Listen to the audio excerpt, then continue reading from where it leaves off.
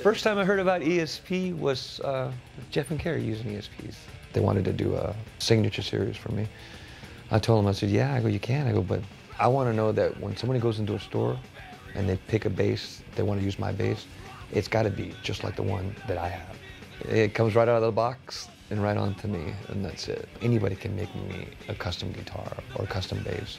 But that bass that you hand me, it has to be the same bass. It's a decent price that they can afford, and it's a good bass. Now, because there's a lot of kids out there that are starting to play bass, you know, and you, you do, you make, you know, there's your top of the line, you know, and then there's you know, your, your lower line. But it would be great for me, I told them, if you, the lower line was just as good as the top of the line.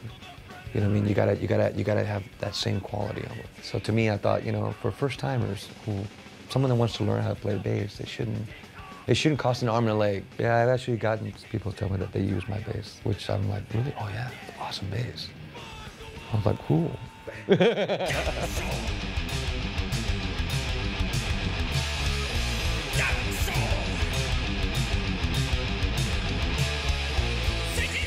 I used a wave bass, had a certain pattern to it. I really liked.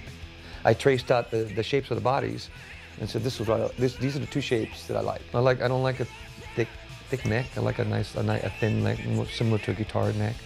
And, you know, a narrow, the, the big, broad, wide necks. I prefer a thinner neck. And so they put together the body shape and all that, and I was like, wow, this is really nice.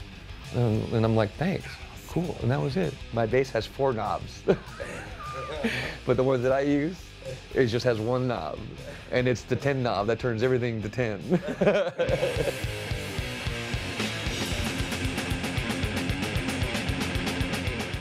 On stage, every night, we go out there, we jam out, right?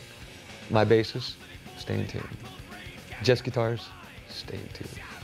That's all I need to say.